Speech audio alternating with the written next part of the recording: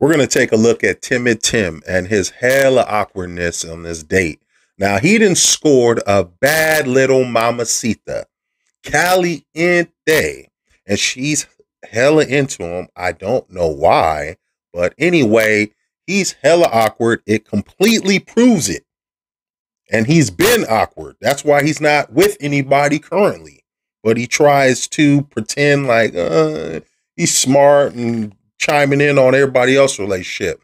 Let's go ahead and check out how awkward Timmy is. I just want to be here with you because we didn't have time to be together. I just want to be like, um, Did you want to talk about something that you didn't want to say in front of them? I don't want. To. She to don't want to talk. What are you talking? You want I didn't to? Right. So wait, I don't understand though. Like, what what what are you trying to to say? You I don't wanna can't read the signs.